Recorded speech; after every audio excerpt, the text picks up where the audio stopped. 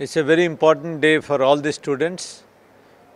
XIM University is a great institution and landmark institution in the state. So, message to the students is the blessings and good wishes for a beautiful career ahead and great citizen of this country and take life dedicate for the development of the state and country. जी exine university sixth under students convocation अनुष्ठित करागला एवं आज প্রায় 118 students মানে তাকর graduation degree পাইলে আমি রাজ্য সরকার কা তরফু এক্সআইএম ইউনিভার্সিটি কো অরি উত্তরোত্তর উন্নতি করিবা পাই আমর তরফু যাহা সব সহায় যোগাই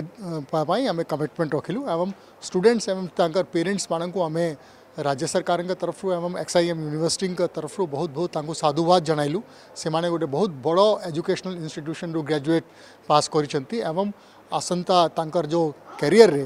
से निश्चित प्रोफेशनल एक्सीलेंस मॉरल स्टैंडर्ड्स और एथिकल वैल्यूज़ को बजाय रखी